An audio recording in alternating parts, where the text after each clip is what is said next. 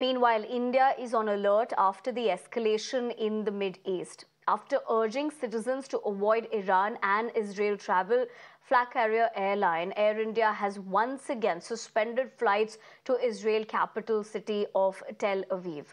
Now, the flights were resumed only on March 3rd after a five month hiatus after the October 7th attack by Hamas.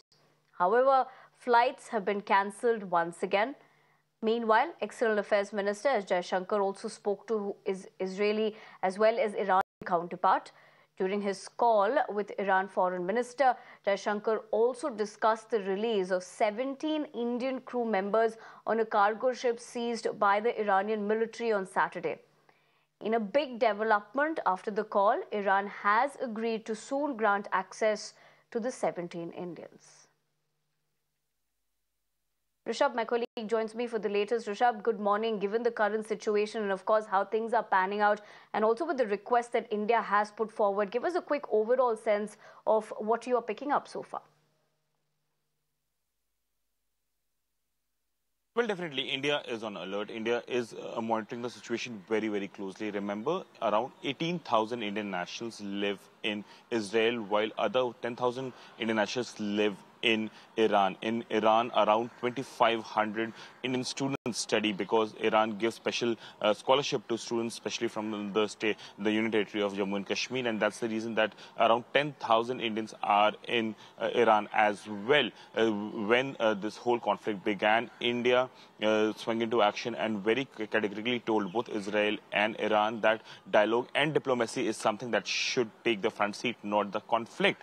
Apart from that, remember MSC Aries, the Portugal flagged uh, vessel was seized by IRGC, the Iranian Revolutionary uh, Guard Corps, and on board was 17 Indian nationals. Last evening, Indian External Affairs Minister Dr. S. Jaishankar did speak to his counterpart in Iran and discuss this uh, issue. Now what we are picking up, right, Iran is ready to give consular access uh, and uh, Indian representatives, Indian government representatives can meet these 17 nationals very soon. This is a positive step coming in while the UN, while the G7 uh, all these bodies have come down heavily on Iran for uh, the uh, 300 missiles, uh, odd missiles that were fired from Iranian territory. And remember, this is the first time since 1979, since the Islamic Republic began in Iran after the Imperial Iran, uh, this is the first time that Iran has used its own territory to attack Israel. Iran has always been wary of Israel, but till date, Iran has been using its proxy, be it Hezbollah, be it Houthis and others to act against Israel. This is the first time Iran has officially uh, acted against Israel, and that is something that has brought the whole West Asia to brink. Remember, uh, it's been six months now. It's the seventh month since the uh, Israel-Hamas conflict is going on, and now this new uh, conflict has begun, and that has left the world that how the situation would be.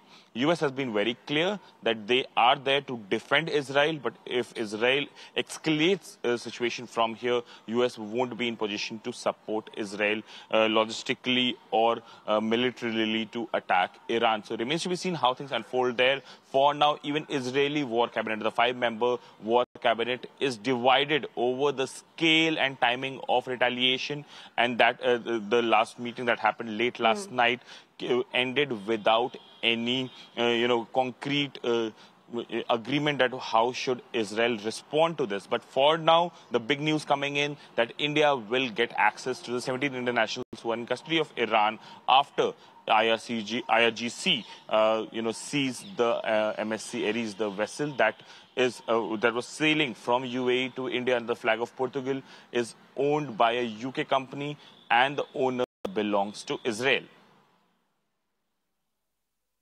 Right, Rishabh. I appreciate you not only getting us the latest, but also the other aspects of where things stand at the moment. Before the moment, we're going to leave the conversation at that. But in fact,